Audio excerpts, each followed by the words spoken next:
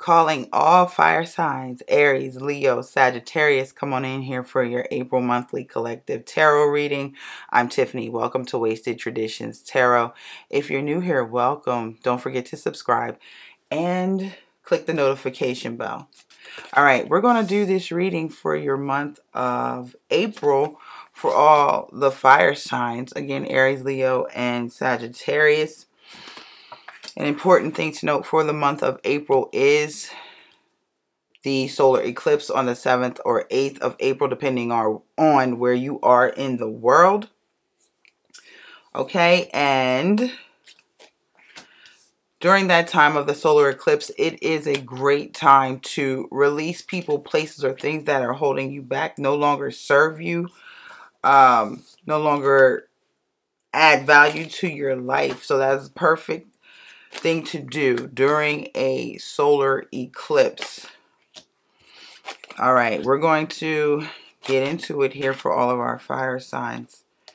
So, first we have brilliant beliefs, luminous life force, personal power for all the Aries, Leo, and Sagittarius. This is your monthly April reading. Brilliant beliefs, luminous life force, personal power. Absolutely. Yes. Okay, so what I'm feeling with this is something for you, fire signs, is coming to completion. It's like you have an ideal vision about yourself um, and about the world you live in. And I feel like that is coming to fruition for you. Okay, Aries, Leo, Sagittarius. Um, something is being fulfilled because of your brilliant beliefs, because of your personal power. This is beautiful. Absolutely beautiful. So with this brilliant beliefs, we have the Knight of Wands, the Queen of Cups, and we also have the world. oh my gosh, yes. Absolutely, the world. That just gives me joy, right? Uh, I am a fire sign, so I'm excited to hear and see that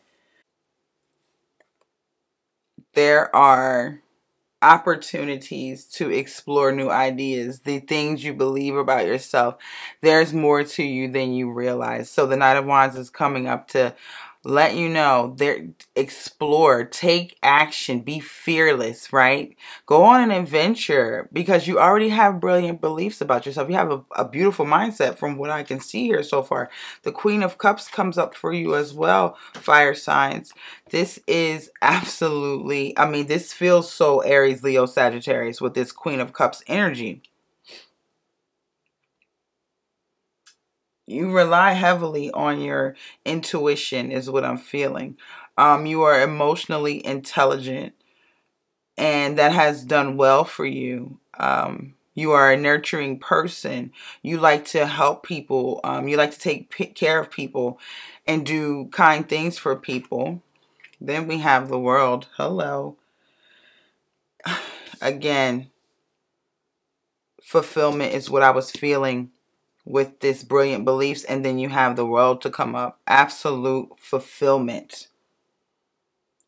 Completion. Again i said completion at the beginning for this and then you know the world comes up. So you will miss nothing. There is so much success showing here because you already have a beautiful mindset you have it feels like you've done the work to cut down and cut out on your limiting beliefs and and create new ideas about yourself and the life you're created to live and the life of your destiny. And so it look i feel like this is working well for you all of you aries leo and sagittarius. What do i want to go i want to go here. All right three of swords the hierophant wow super powerful super powerful. And the Nine of Pentacles. All right, this Three of Swords, what I'm feeling with this is that you've done the work. You, in your past, okay, Aries, Leo, Sagittarius, in your past, even a recent past, you were feeling really um, low.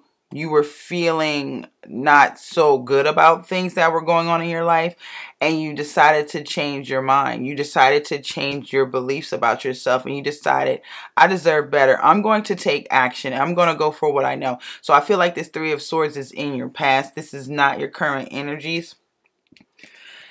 Okay, and then the Queen of Cups is clarified by the Hierophant. And this is just that emotional stability, that emotional intelligence. I'm feeling that as well here with the Hierophant. There are things you've learned about yourself through your recent and elevated practice. You have tapped into your higher self, and that has brought you to a place of an emotional intelligence with this Queen of Cups. You've you've learned to nurture your relationship with your spiritual team, your angels, ancestors, and spirit guides, and so it has given you a great deal of understanding so that you know how to care for yourself and care for others. That's what I'm feeling with this Hierophant card. And then we have the Nine of Pentacles clarifying the world. Again, that is the fruits of your labor. They have come to fruition with the world card. All of the hard work you've done on self and how you want to create the life of your desire and, and create a life, a life of your own destiny and not leaving things to fate the fruits of your labor show up here on the world card because you've done the work. This journey is not over. We never arrive. It's an ongoing journey. And and what I'm feeling is you should stay the course. You should stay the course. You were doing so well, air uh, fire signs. Okay. Next, we have Groundhog Spirit, time to let go. Again, this time for the solar eclipse, it is an absolute perfect time to release people, places, or things that are holding you back from growing and evolving because you've been doing so well. And I'm feeling like, is there a few more things you need to let go? A few, few more people you need to let go? A few more limiting beliefs that you need to let go is what I'm I'm feeling from here. Again, like I said, we never arrive. There's always work to do. So with the groundhog spirit, continue to do the work. Continue to um, stabilize your foundation because the foundation you've created so far is beautiful. It's strong. It's making your life more stable and secure. So with this groundhog spirit, we have justice the lovers, you have so much major energy here. Aries, Leo, Sagittarius. This is a magical reading. This is beautiful. The justice card comes up. Time to let go. Anything that doesn't serve you, it will be eliminated. You will cut those things out. Your life will come back into balance. You will understand and know the truth of what it's time to let go, continuing to tap into that Hierophant energy and continuing to work with your spiritual team.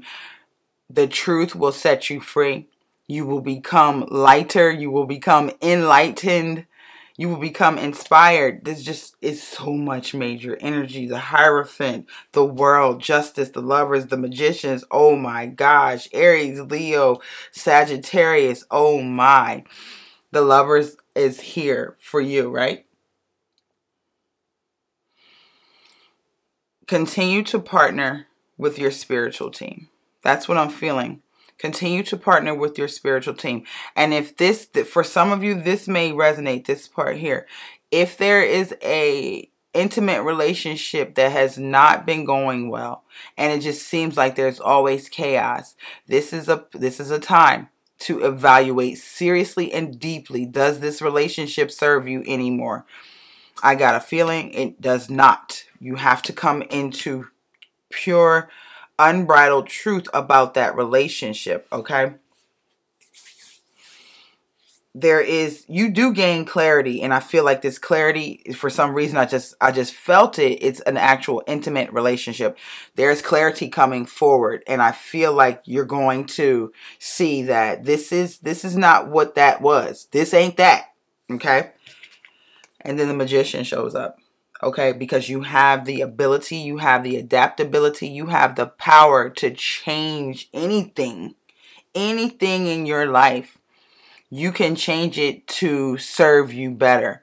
You can change it by walking away. You can change it by reevaluating and deciding to do something different, do more of the good and none of the bad, right?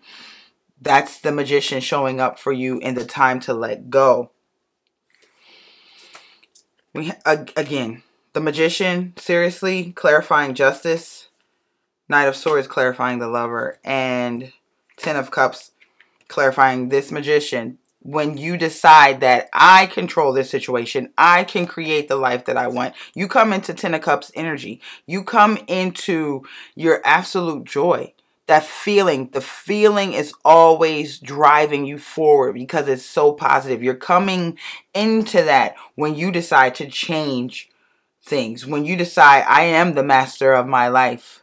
I can create the life of my desires. And you create that joy. You create that success. You create that abundance. You create the bliss that you desire and deserve. And then this magician clarifying the justice card because there is clarity with this justice energy. It just reiterates you have the ability and the power and the utmost responsibility to yourself to change your life into what you desire and what you deserve. And then the Knight of Swords.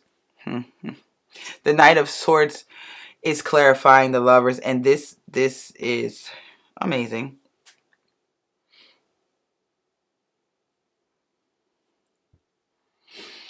I just feel like with this Knight of Swords, you're going to have to be assertive with this individual and say, listen, you straighten up and fly right, or we can't, we can't do this anymore. I really feel this is pointing to an intimate situation and it, and it seems like it's time to let it go. And it is nothing wrong with offering someone a second chance. You actually have a clear cohesive assertive conversation with them and explaining this is what I will accept. This is what I will not accept. You have to be assertive and stand up for yourself with this individual. We're going to move on to wasp spirit some sometimes life stings that is the wasp spirit. And that is absolutely true. Everything does not always go our way. Nothing in life is perfect. Who said life was going to be easy? They totally sold you snake oil if they told you that. Sometimes life stings. And that's okay because when life stings, it's time to end it. It's time to let go of what doesn't serve you well anymore. It's a time for transformation. It's a time to do something different. Ace of Swords, Six of Wands, and the Sun. You just you're just winning here. Fire signs, Aries, Leo, Sagittarius. You're just winning. With the Ace of Swords.